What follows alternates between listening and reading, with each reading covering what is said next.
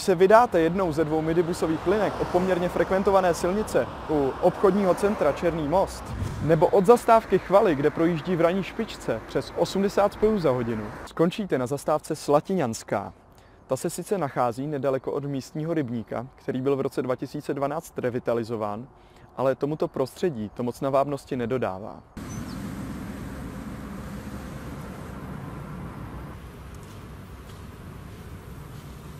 Ještě za rybníkem můžeme dojít k místní samoobsluze.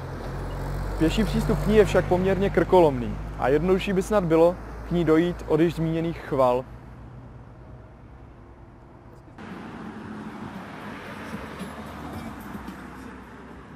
V okolí Slatiňanské leží také zahrádkářská osada Formanka. Ta přiléhá k místnímu potoku Chvalka.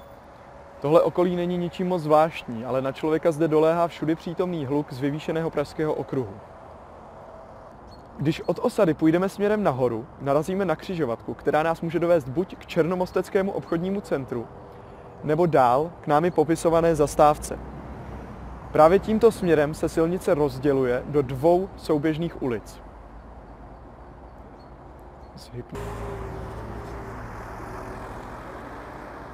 Autobusy zahybají právě do té vpravo.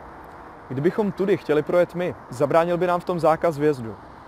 Proč ale nevyužít souběžnou ulici vlevo, která je v mnohem lepším stavu?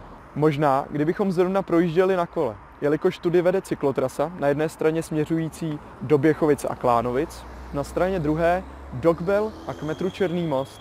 Jako taková je zastávka vedená v poměrně nezvyklém provedení. Ačkoliv se nachází na úzké a neudržované cestě, dala by se označit za bezbariérovou.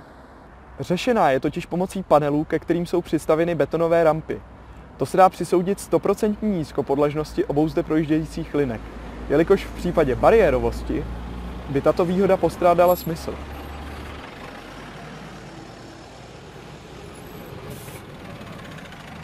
Nebo také přilehlému léčebnému a rehabilitačnímu středisku. Jehož klienti budou rádi za každé zjednodušení přístupu.